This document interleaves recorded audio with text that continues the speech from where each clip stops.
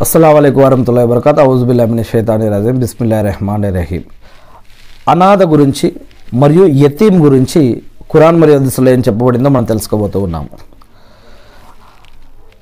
ప్రపంచంలో గొప్ప సహాయం గొప్ప దానధర్మం ఏది అంటే యతీంని ఆదుకోవటం అనాథకు సహాయం చేయటం. యతీం అంటే తండ్రి లేని బిడ్డ. అనాథ అంటే తల్లి తండ్రి కూడా లేని ఇద్దరూ లేనివారు. సహాయం చేయడానికి ఏం లేకపోతే గనక కనీసం వారి తల మీద ఇలా చేతితో ఇలా నురిమినా కూడా చాలా పుణ్యమని కురా ఇస్లాంలో చెప్పడం జరిగింది. అనాథలను అసహించుకోవటం కానీ పరువు తీయటం కానీ అవమానించడం కూడా అవమానించడం కానీ చేయకూడదు అని కురాన్ దిశల్లో చెప్పడం జరిగింది.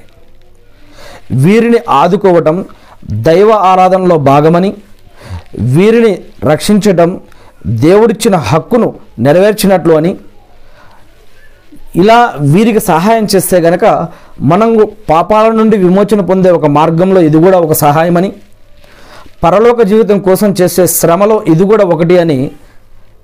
అనాథలని యతీములని ఆదుకుంటే ఈ యొక్క భాగ్యాలు పాపాలు క్షమించబడతాయి అని పరలోకం కూడా పొందే భాగ్యం ఉందని కూడా చెప్పడం జరిగింది. ఇది కూడా ఆరాధనలో ఒక భాగమని.